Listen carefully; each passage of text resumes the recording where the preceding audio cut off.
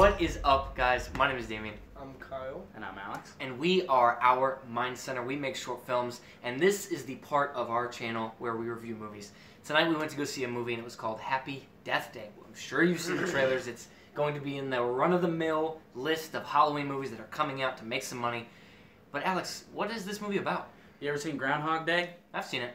It's basically that premise. A girl wakes up every day, and when she eventually gets killed, the day rewinds and she starts from the beginning. like Alex said, uh, Groundhog Day. Like, there's no point in giving you a list because you know, in it's it's weird. It's such like a premise that even if you haven't seen those movies, you know it exists. Somebody's reliving the same day over and over and over again, and they have to find a way to fix it. And I will say, for me as a moviegoer, just like those other movies, I will not say that it's on the same level or as great as those, because this by no means is a great movie.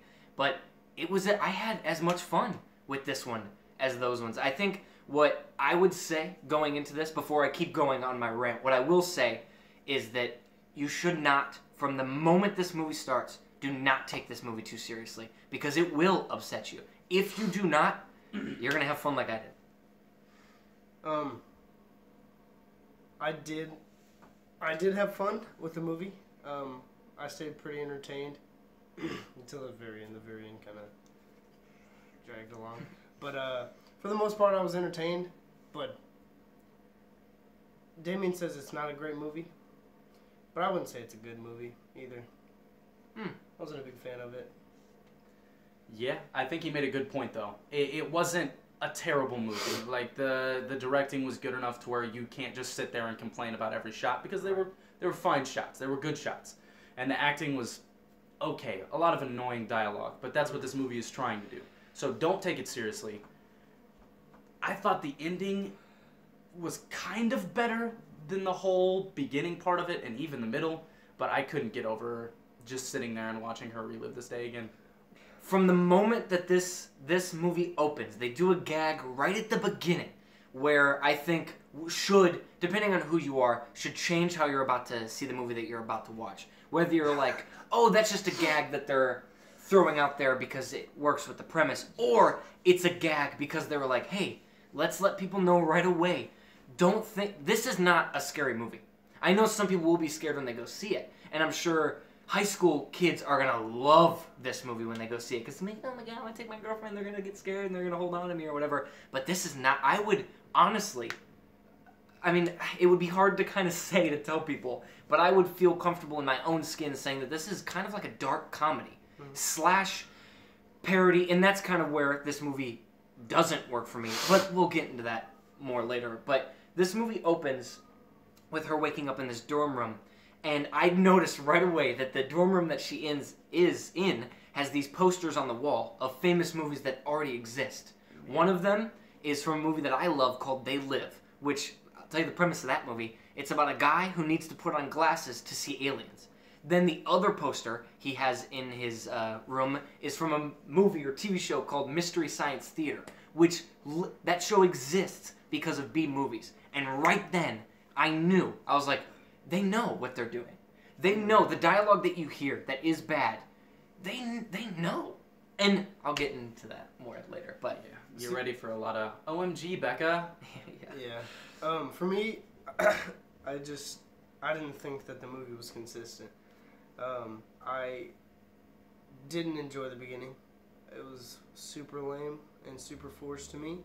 Um, and that was a pretty big chunk of the beginning for me until one one of the days that she woke up was phenomenal. I loved every second of that entire day. Emotionally, it was uh, it was awesome. It Mhm. was the happy parts made me super happy. Um, there was a little sad part in there, and I got pretty pretty choked up Mhm. uh, actually. And um, I loved how it ended. What Damien said about it just being kind of fun, don't take it seriously. There's so many parts in it where if you're not taking it seriously, it can be a really fun movie, and then you're just kind of like, okay. But if you can get over those parts, you'll have fun with this movie. If, if, if, if you want to go watch a Beeline horror film, do it. Yeah, That's and on you. Um, it's. I mean, it seems like so far. Like I'm just like, oh my god, I love this movie. Because, like I said, it's not a great movie, But what is good is the point that Kyle made is being inconsistent. Because yes, I do think this movie is fun, and I do think that you shouldn't take it seriously. But the hard part about that is whenever a movie is like that and it's written that way, but then at the same time they do have scenes where they want you to take it seriously.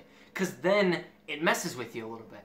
You think in your head, okay, are they doing this on purpose? Should I care? Or is this another gag? And for me, that's when it kind of fell apart because at Yeah. times I didn't know if it was being a parody. I didn't know if it was making fun of the fact that it's a movie that already exists in a thousand other plots and in Right. some basement of like a movie that hasn't been made yet. And it's it is a little wishy-washy for me, but like like I said, once once I shut off everything else and I enjoyed the cheesy lines and the over-the-top stuff, it didn't take me out of it. It kind of put me more into the like I was almost excited to hear another bad line of dialogue because then I would have been like, "Oh, that's so bad. I love it." But yeah, Awesome. Uh, you guys want to rate it? Yeah, I'm, I'm, Okay. I'm, I'm down. Let's do it. yeah, hey pimps. Um.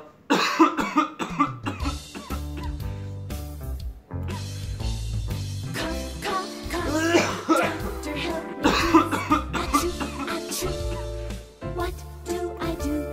what do we do? oh, she's about to go. I did that for the meme. Whew. Okay, guys. Um, so what do I think about this movie in a nutshell, altogether, with my score involved?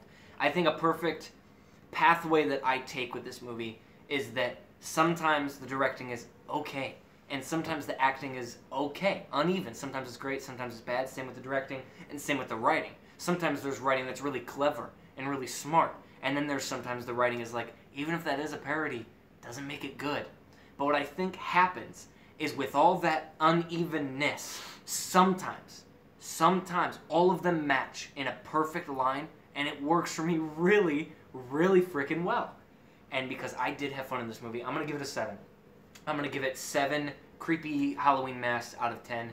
This is a very uneven movie, but when those lines do hit, when they match up, when the stars align, it's a fun movie. It's a fun movie. Go see it, guys. Like Alex was saying, the the direction is it's pretty pretty pretty normal. It's not Mhm. bad. It's not incredible. Um, the acting was iffy. Uh, Mhm. it was a hit or miss for me. Um, I feel like I feel like there's a way to do dialogue in a cringe, like a comedic cringy way. But some of the dialogue in this movie was just cringy. It, it wasn't cringy to where it's funny, because a lot of movies do that, and I enjoy it. But it was just cringy sometimes, and um, some of the dialogue was just forced. But um, five point seven five. nice. 50 cent faces out of 10. Still beat up by that, aren't? I'm so beat up. Damn you, 50 Cent! So I'm not a huge fan of horror films, and this one to me felt fairly run of the mill. We've seen a couple in the past that I have really enjoyed, especially it. Mm. But this one for me was just jump scares. It was intense music leading up to another jump scare. And the beginning was cringy dialogue and trying to set up. The ending was alright. And if you don't go into this movie thinking much of anything about it, and you're just like, hmm, I mean, it'll probably be cringy, but let's just have a good time with it. I'd say go see it. But if you do really like horror films and you expect this one to be good, I wouldn't go see it. Um, I'm gonna give it a four out of ten. I'm gonna give it a four out of ten. Uh, baby bottles. But there you have it, guys. Um, if you are excited for this movie, leave a comment. And if you have any because you know every week more movies come out. Like it's it's not just one. We do have to choose which one because we're not millionaires. We don't we don't get to see or even thousandaires or even hundredaires. Like we don't get to just go see whatever movie we want.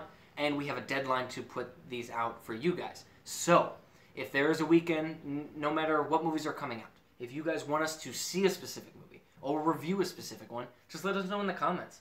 And maybe, who who knows, but maybe even if it's a movie that's already been out and you just want to know what our personalities think about that movie, just let us know. And we may or may not. We might get bored one day. We're like, ah, Uh, let's just do another one. yeah. So, anyways, guys, just keep in contact with us. Stay active in our our liking numbers and in our comments. And so you do not forget, my name is Damien. I'm Kyle. And I'm Alex. We are Our Mind Center. Thank you so much for watching this video. And until next time.